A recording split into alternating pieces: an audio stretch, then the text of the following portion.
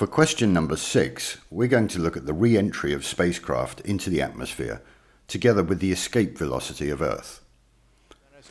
When launching any rocket that is designed to leave Earth's atmosphere, a certain speed has to be reached to achieve an escape from Earth's gravitational pull.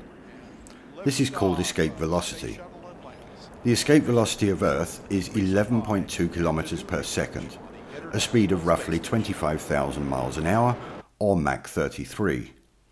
And this speed has to be obtained to be able to enter space without being pulled back down to Earth because of gravity. T. Coming back into Earth's atmosphere, the process is called re-entry.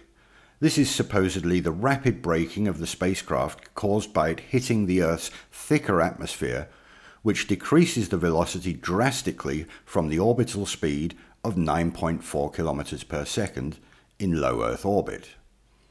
Or to put it another way, many times faster than a speeding bullet.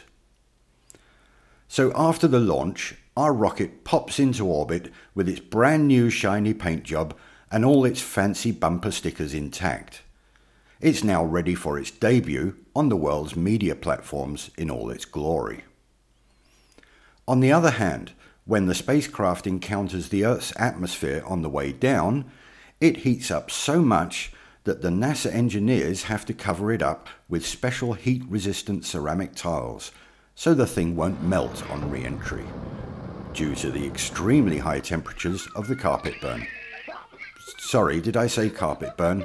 I meant to say plasma burn. So how come it's travelling at the same speed through the same atmosphere at the same angle and in the same direction of the Earth's rotation yet no provision is made for protection on the ascent, and the spacecraft is unharmed when it reaches orbit.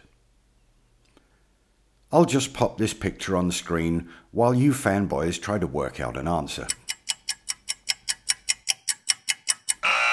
Time's up.